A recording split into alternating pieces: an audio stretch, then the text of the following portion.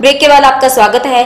अखिल भारतीय विद्यार्थी परिषद चकमो के एक प्रतिनिधि मंडल ने उपायुक्त हमीरपुर हरकेश मीणा को कॉलेज में आ रही समस्याओं को लेकर ज्ञापन सौंपा है। विद्यार्थी परिषद ने उम्मीद जताई है कि उपायुक्त हमीरपुर जल्द ही उनकी मांगों पर उचित कार्यवाही अमल में लाएँगे। प्रतिनिधि मंडल में आधा दर्जन से अधिक छात्र छात्राएँ मौजूद रहे अखिल भारतीय विद्यार्थी परिषद चकमो के एक प्रतिनिधि मंडल ने उपायुक्त हमीरपुर हरकेश मीणा को कॉलेज में आ रही समस्याओं को लेकर ज्ञापन सौंपा है। इकाई सचिव आशुतोष बनियाल ने बताया कि उन्होंने मांग पत्र में महाविद्यालय में मैथ व केमिस्ट्री के प्राध्यापकों की नियुक्ति जल्द से जल्द करने और महाविद्यालय में स्कूल प्रवक्ता को लगाना तर्क संगत नहीं है। कॉलेज में जल्द नियुक्ति की जाए।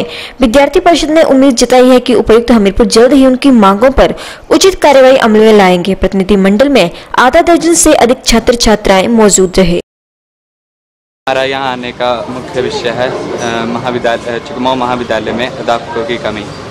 हमारे महाविद्यालय में मैथ्स और केमिस्ट्री के अध्यापक नहीं हैं। मैथ के एक भी अध्यापक नहीं हैं, जिससे हमारी लगभग डेढ़ महीने से क्लासेज नहीं लग पा रही हैं।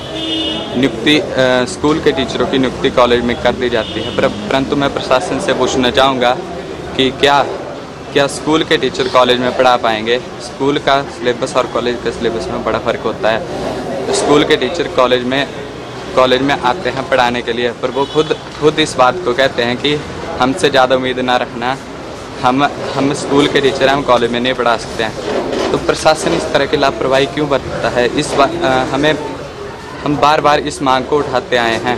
इस मांग को उठाते हैं कि टीचरों की नियुक्ति जल्द से जल्द की जाए। हमने मतलब टीचर के लिए स्ट्राइक भी रखी थी तीन चार मतलब तीन चार दिन पहले? फिर हमने स्ट्राइक भी की, पर हमारे कॉलेज प्रशासन ने कुछ नहीं बोला। हमने प्रिंसिपल सर से इतनी रिक्वेस्ट की खुद जाके कि सर हमारी बात मान लो कि हमें टीचर चाहिए। ऊपर से हमारा सेमेस्टर सिस्टम है सिक्स मंथ का सेमेस्टर सिस्टम में भी दो ही मंथ होते हैं स्टडी के लिए बट फिर भी हमें टाइम नहीं मिल रहा है और मैथ के टीचर स्कूल का टीचर लाया गया हमें और स्कूल का टीचर आते ही बोलता है कि मेरे से उम्मीद मत करो। तो फिर हम अगर घर पर कुछ चीज़ चाहिए होगी तो हम पेरेंट्स से मांगेंगे ना अपने स्कूल में भी हम प्रिंसिपल सर को ही बोलेंगे, बट सर सुनते नहीं, हमारी तो हम क्या करें? फिर आगे हम आज आज तभी हम डीसी ऑफ़िस मतलब सर से मिलने आए हैं कि हमारी मांग को बड़ा, पूरा किया जाए।